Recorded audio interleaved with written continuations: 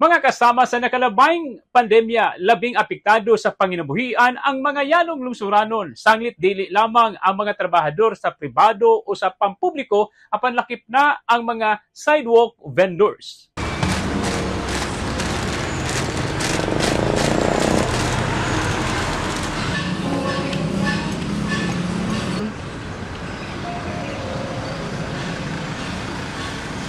Usa si Nanay Amy Flores sa mga sidewalk vendors nga nawala og panginabuhian human sila gipaundang og paninda gawa sa People's Park hatod sa COVID-19 pandemic niadtong 2020 hangtod 2022.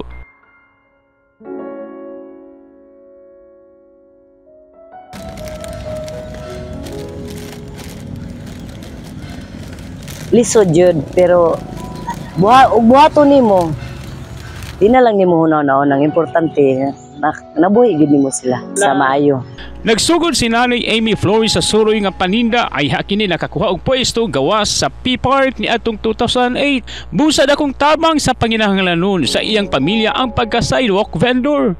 Single mom si Nanay Amy og doon na siya upat ka anak og gibuhi niya sila sa paninda. Busa na subok kini dihang gipailawom sa pandemya ang entero nasod kay nawadaan siya og panginabuhian. Og sa kakusog ang kuanon sir istoryahan mas mas wapo gyud tong di pa niabot wa, wa pa niabot nga pandemya.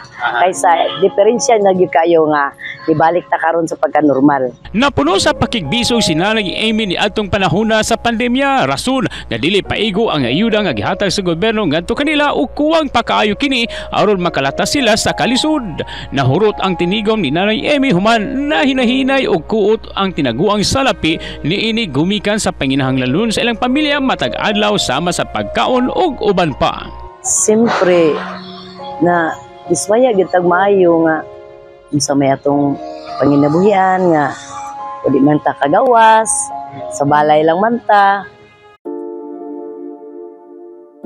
Wala gilimod ni ili nga nagapo sila sa kalisod nunod sa limitasyon ug strikto nga palisiya nga giimposar sa kagabahanan ug ang entero pamilya ni Nanay Amy ang naara sa balay ug walay nahimo sa panginabuhi.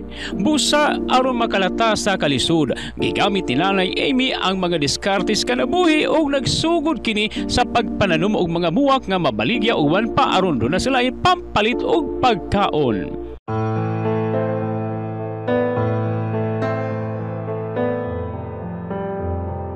Tinuod gani nga nahitabo di mga nagtandang pandemic.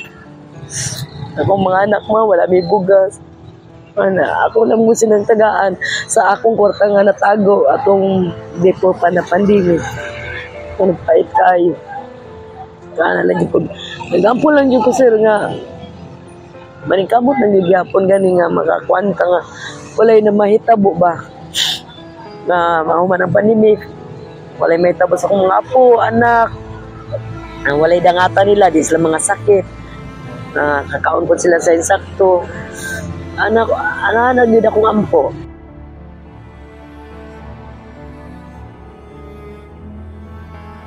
Ni daya ma'am. Isa? Ay bugnay mo ha.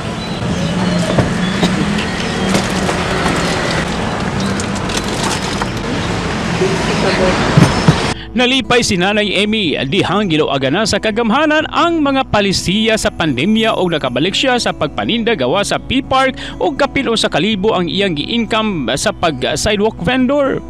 Bugtong pag-ampog pagtuo sa Dios ang nahimong armas ni Nanay Amy Flores aron latason ang pagsuway og mahimo kining gawas nun gikan sa epekto sa COVID-19 pandemic. Ug kung duna may mapaambit nga pagtulunan si Nanay Amy gikan sa mapait nga kasinatinog kalisod sa panahon sa pandemya kana mao ang pagtigom og salapi kay dili mahibaluan kanaw sa mohampak ang mga pagsuway sa kinabuhi sama sa pandemya. Mag savings gyud ta kay para pag-abot sa panahon na time na may ato na pod na gitay makuhaan o nya. Dili na tayo nga rasa una nga ay napayugma na kwarta karon ana gani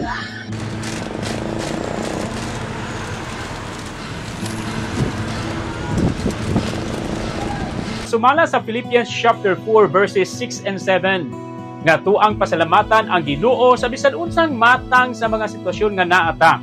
Kung naatay mga paghangyo sa Ginoo tungod sa atong sitwasyon, atong itugan din kaniya pinaagi sa mga pag-ampo. Alang sa DXDC, Holy Week Special. Radyoman Joel Bray Tatang RMN.